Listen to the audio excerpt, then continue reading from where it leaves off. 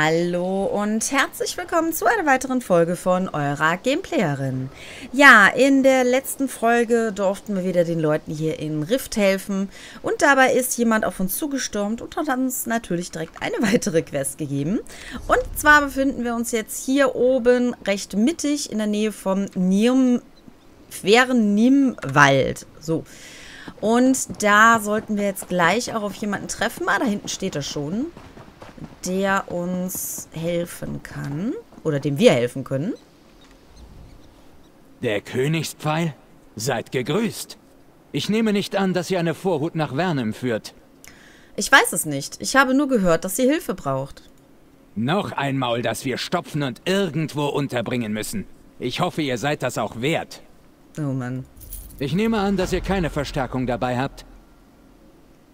Ich habe meinen treuen Gefährten Bastian dabei. Nein, ihr erwartet Verstärkung? Vor Stunden. Wir sind diesem Bastard Strahl in den Wernemwald gefolgt.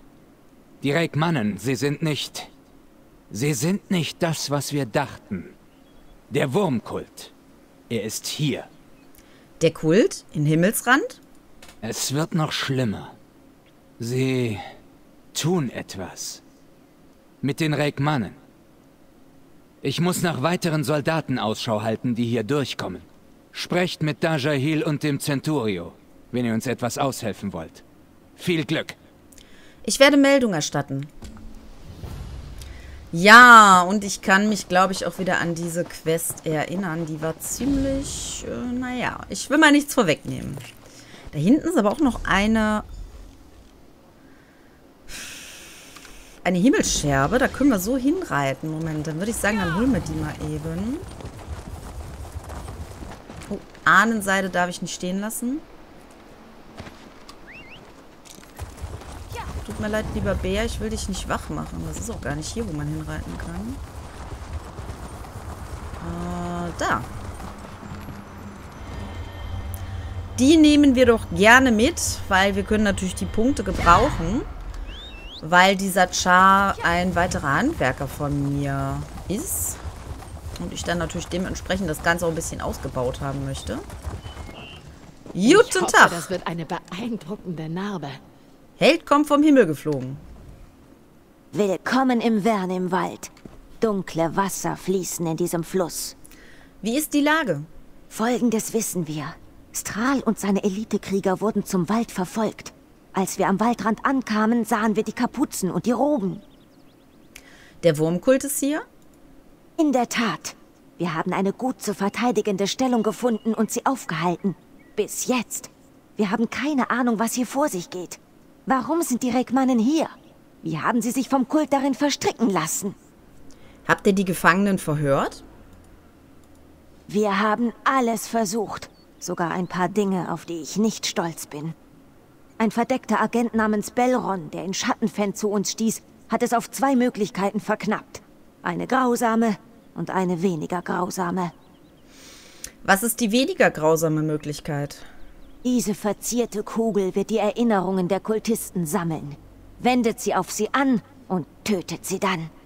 Belron kann in die gesammelten Erinnerungen blicken und vielleicht sehen, wie Strahl zu einem Kultisten spricht. Was ist die grausame Möglichkeit?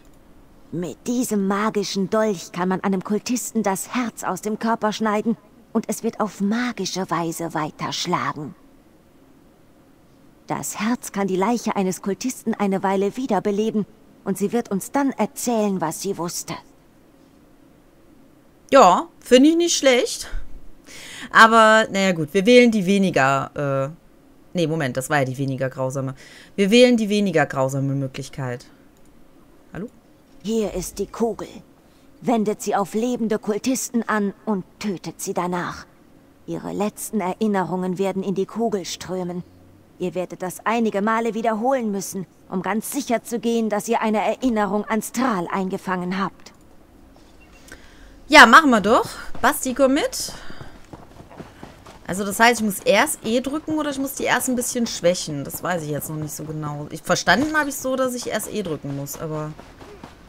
Man weset ja nicht. Oh ja, äh, das war aber nicht eh.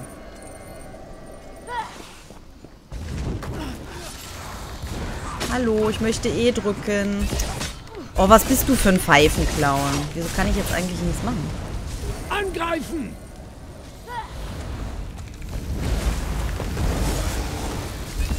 Nein, nein. Och, komm. Ich hab eh gedrückt, du Blödmann. Wieso? Oh, ernsthaft jetzt. Okay, nochmal von vorne. So, den können wir nicht mehr. Umgehen! Nee, nichts umgehen. Ich muss dich jetzt töten. So. Nein, lass mich noch Ehe drücken. Lass mich noch Ehe drücken. So, siehst du? Geht doch. Jetzt müssen wir nur irgendwie wieder hier hochkommen. Moment. Ich meine, da ging das nicht. Ich bin mir nicht sicher, aber ich gehe mal hier rum. So. Weniger grausame Möglichkeit abgeschlossen. Wo muss ich hin? Da. Ich habe noch einen vernichtet. Diese Kultisten sterben einfach zu schnell. Hier ist die Kugel. Gut, gut. Und voll mit Erinnerungen, wie ich sehe. Nun lasst uns hoffen, dass einer der Kultisten, denen ihr die Erinnerungen geraubt habt, mit Strahl gesprochen hat. Wenn ja, können wir erfahren, was hier vor sich geht. Palik ist mit meinen Rekmannen zufrieden, weil sie den Riesen Sinmo entfesselt haben. Er hat darum gebeten, dass er den Wärmemwald bewacht, während seine Priester Rituale auf uns wirken. Was werden die Rituale bewirken? Die Berührung des Herrn der Gewalt wird in uns gebündelt. Überall in den Wäldern werden Reikmannen verwandelt. Ich selbst werde mich der Zeremonie in der zentralen Ruine unterziehen. Achso, müssen wir mit ihr reden. Dann machen wir das doch. Habt ihr herausgefunden, warum der Wurmkult hier ist? Die Kultisten erfüllen die Reikmannen mit dunklen Kräften. Strahl ist bei der Ruine. Das ist eine düstere Kehre im Fluss. Ich schicke Truppen los, um die Ruine zu untersuchen. Es war schmutzige Arbeit, aber ich danke euch für eure Hilfe. Elron hat das Lager verlassen. Er murmelte irgendwas über weitere Forschung. Geht ins Feld und findet diesen Dunkelelfen. Helft ihm so gut ihr könnt. Ich werde ihn finden. So, dann nehmen wir nochmal den gleichen Weg. Der müsste dann ja irgendwo da unten sein. Autsch. Das. Nee, du bist das nicht. Moment, hier oben. Da ist er. Seht ihr das? Das ist von den Reikmannen übrig, die sich im Wernimwald sammelten. Was unternehmen wir dagegen? Wir müssen mehr über diese Dinge in Erfahrung bringen. Die Gaste wiederholen immer wieder den Namen Kalix Dornenzunge. Geht und tötet ihn. Nehmt ihm das Herz und bringt es zu mir. Ihr scheint von Herzen besessen zu sein. Nekromantische Energien sammeln sich im Herzen. Es ist der Sitz des Lebens und des Unlebens. Alles, was ich über eine Person wissen muss, kann ich durch ihr Herz erfahren. Ich schätze, ich bin ein wenig besessen. Okay. Kalix Dornzunge. Wer ist das? Ist der hier? Ja. Sag mir das doch direkt. Ich soll dich umbringen.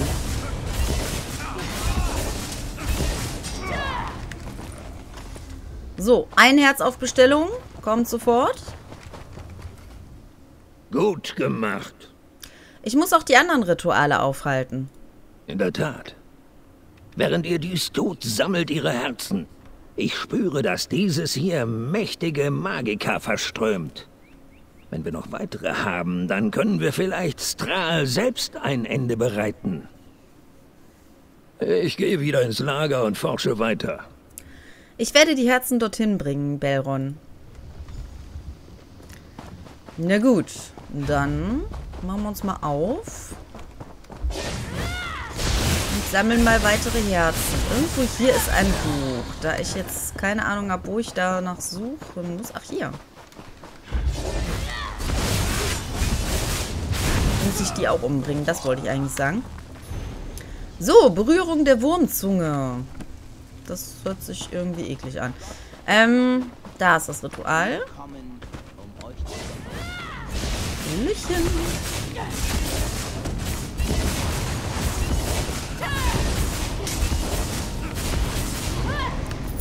Nicht, mein Freund. Das macht mir keinen Schaden. Ähm, wir gehen mal zum nächsten. Nee, so nie, mein Freund. Oh, kommt, Jungs. Lasst mich doch einfach hier durch.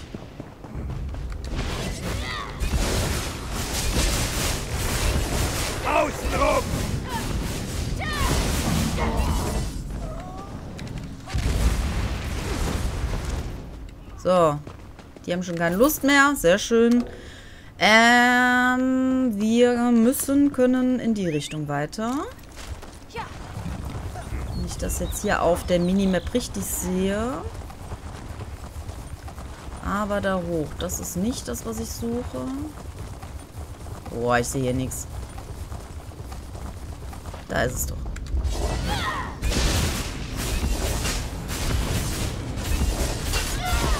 Urasei, die Grabgeborene.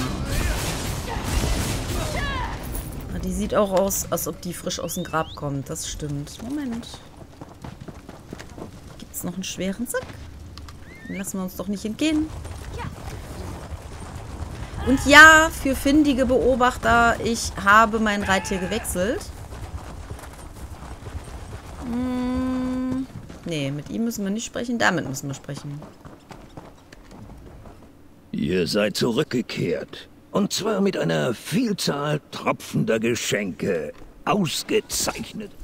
Hallo? Geht's noch? Penner. Bin mich hier gerade am Unterhalten. Ihr seid zurückgekehrt. Und zwar mit einer Vielzahl tropfender Geschenke. Ausgezeichnete Arbeit. Ja, hier sind die Herzen der Grabgeborenen. Ihr habt meinen Dank. Diese von Ranken verworrenen Abscheulichkeiten könnten sich noch als nützlich erweisen. Ihr habt vielleicht die Ruine in der Mitte des Waldes bemerkt. Diesen Schleier von Tod und Dunkelheit. Nichts Lebendes kann ihn durchdringen. Zum Glück können es aber die Toten. Warum ist das ein Glück? Oh, ich dachte, das läge auf der Hand. Wir töten euch sozusagen. Diese Herzen der Grabgeborenen. Ja, wir erfüllen einen Trank mit ihrer Essenz. Etwa so. Trinkt dies. Vertraut mir, da kann nichts schiefgehen. Nun, gut. Ich bin mir ja nicht sicher, dass da nichts schief gehen kann. Runter mit dem Zeug.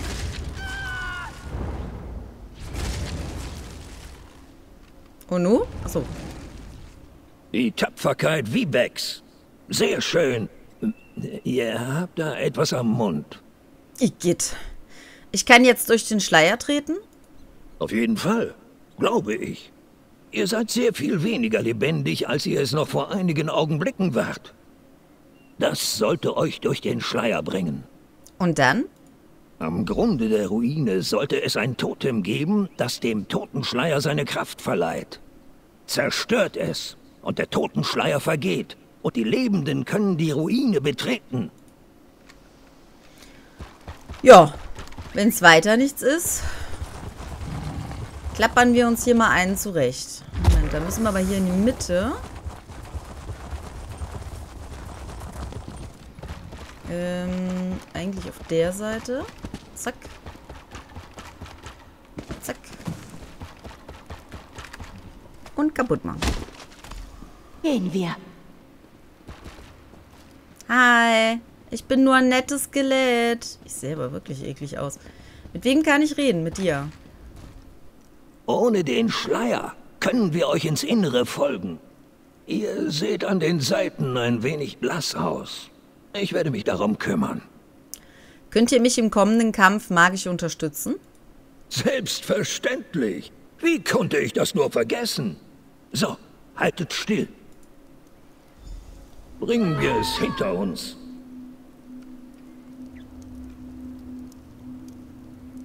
Jetzt habe ich aber richtig dolle Kopfschmerzen. Ja, da freut man sich doch drauf, kämpfen zu müssen, wenn man Kopfschmerzen hat. Ja, und wir haben 16 Uhr. Vielen Dank dafür, dass ihr uns immer wieder hier die Sachen reinhaut. Ich werde, auch wenn das Ganze jetzt äh, wieder alles so unterbricht, ich werde mal eben schauen. Natürlich gibt es nichts Neues. Ich weiß nicht, was das jetzt schon wieder für eine Aktion war. Dann gucken wir uns den Rest halt nicht an, wenn ihr das nicht Seid wollt. auf der Hut. Hallo, nicht an mir vorbeilaufen. Ja. Ich muss Punkte machen. Jetzt rennen die alle dahin. Mich hier veräppeln? Kommt her.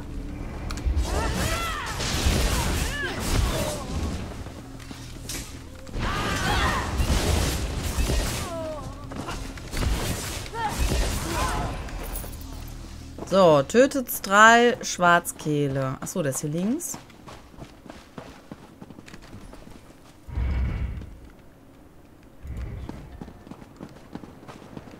Na, kommen noch mehr Gegner, wo ich ein bisschen mit leveln kann. Wobei leveln tue ich ja eigentlich gar nicht mehr so wirklich.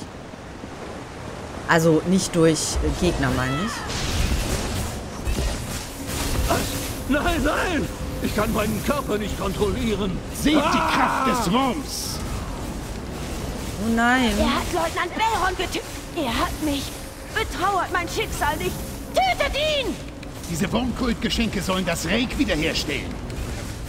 Boah, wieso nimmt der hier keinen Schaden an? Talik, ich habe versagt.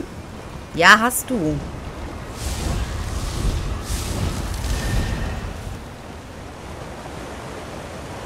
Willst Lasst du mich verarschen? Oberfläche zurückkehren. Nix Oberfläche zurückkehren. Er hatte noch 6%. War das jetzt normal oder war der jetzt am Backen? Ich bin mir nicht sicher. Äh. Abgesehen davon, dass er unsere Kumpels hier gerade weggezogen hat, wie sonst was. Hat die mal eben inhaliert und wieder ausgespuckt.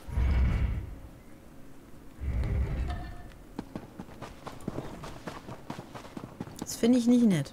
Wir sehen uns im Lager. Machen wir. So. Ähm, das sind die Guten, ne? Das heißt, hier sind jetzt gar, gar keine Bösen mehr. Die sind jetzt hier eingefallen. Sozusagen. Ich muss mal schauen. In die Richtung. Wie ich hier am besten den Berg hochkomme, das wollte ich sagen. Jetzt müssen wir wieder zu ihr, ne? Ja. Ich habe nicht gedacht, dass wir es da heil rausschaffen. Dajahel, Belron, Ihr habt tapfer gekämpft. Ich sorge dafür, dass der Centurio der Pakt von Strahls Niederlage erfährt. Dajahel und Belron haben sich geopfert, damit diese Bestie getötet wird. Ihr Opfer wird nicht vergessen werden. Und wir erhalten einen Fertigkeitspunkt und eine zweihändige Axt vom Hexenwerk.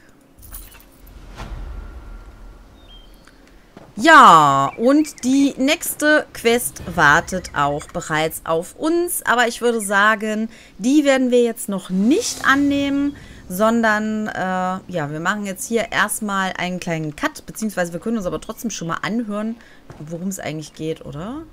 Gut, dass ihr es geschafft habt, Pfeil. Ich werde dafür sorgen, dass Dajahel und Belron in die Rollen in Gramfeste eingehen. Verrückt, wenn man darüber nachdenkt. So viele Leute, alle nur noch Tinte auf Pergament. Was ist der nächste Schritt, Centurio? Wir müssen die Siedlungen westlich von hier warnen. Ihr habt Strahl und den Reikmannen Einhalt geboten. Aber der Wurmkult ist die deutlich größere Bedrohung. Wo soll ich anfangen? Nimalten. Tane Fiora ist eine tapfere, kluge Frau. Und sie hat die Mittel, um den Rest der zerklüfteten Hügel zu schützen. Schnappt euch einen Wachmann, wenn ihr dort ankommt. Er wird euch sagen können, wo ihr hin müsst. Betrachtet es als erledigt, Centurio. Offenbar ist Fiora ein Wirbelwind auf dem Schlachtfeld. Ich habe Geschichten gehört, die ihr nicht glauben würdet. Was werdet ihr jetzt tun, Centurio? Tod, Reikmannen und jetzt die Würmer. Ich muss mich nach meiner Familie erkundigen. Wir haben einen kleinen Bauernhof unten im Süden. Der Vater meiner Frau hat ihn erbaut. Schaut doch einmal kurz dort vorbei, wenn sich die Gelegenheit ergibt. Sagt ihr, dass ich euch schicke. Sie backt einfach die himmlischsten Süßkringel. Ja, unter diesen Voraussetzungen werde ich natürlich auf jeden Fall mal dort vorbeischauen. Ja, es war doch gut, dass ich nochmal mit ihm gesprochen habe, weil das ja dann wiederum zu dieser Geschichte noch so ein bisschen gehört hat. Deswegen jetzt aber endgültig wird hier erstmal ein kleiner Cut gemacht und wir sehen den Rest dann in der nächsten Folge. Bis dann. Ciao.